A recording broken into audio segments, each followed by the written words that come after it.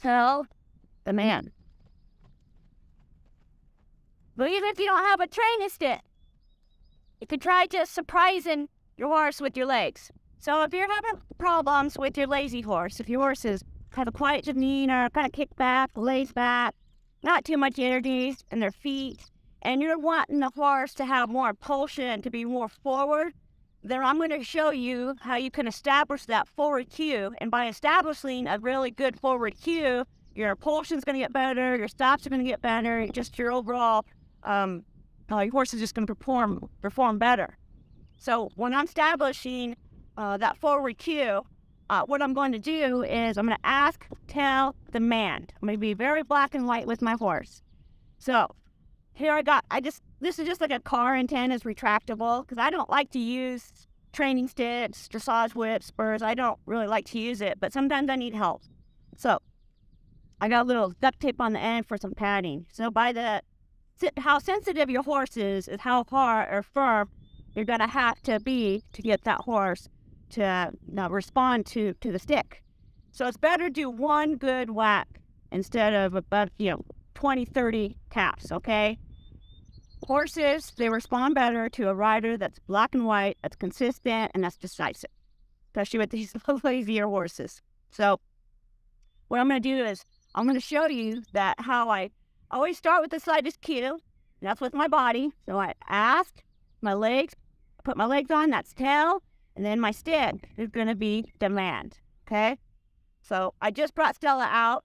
She's, uh, you got to be careful with these types of horses that are lazy because when you start asking them for more than they want to do, they're going to have, have a little bit of an attitude about it. So Stella, she's been ridden by a beginner. She's get, been getting away um, with a lot. So I'm going to have to go back and I have to work on establishing our forward cue again. And we're going to have to work on some other things as well. But let me show you how I'm going to establish that very forward cue. Because it's not fun riding a horse that's not very forward. So.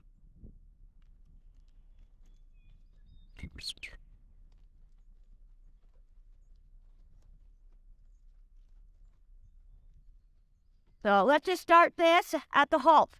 So this is me asking Stella to walk forward. My body, my legs. And yeah. Now let me show you how I'm going to turn it into quicker response. Ask, tell, demand. Okay? Now, let me see if I can get her to do it without even using my stick. Ask, tell. See, now she's already wanting to go. See how quick that was? Horses know. They know when you have a stick and when you don't. So do it again. You're at the halt. You can start from the halt, then go to the walk and go up to the trot. So my body, my legs, much better. She had already she was trotting before I even put my leg on to trot. She's already becoming more responsive.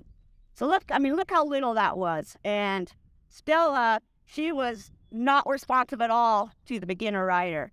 So I got to work with my uh, beginner rider, get me to where she establishes that forward cue with Stella.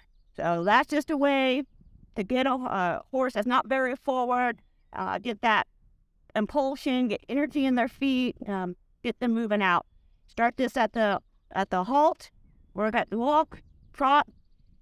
Pretty soon, you won't even need the stick anymore. You just put that away, Remember to do both sides.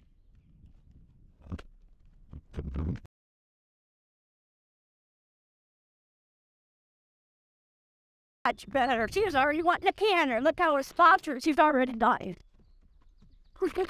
Good girl. Good girl.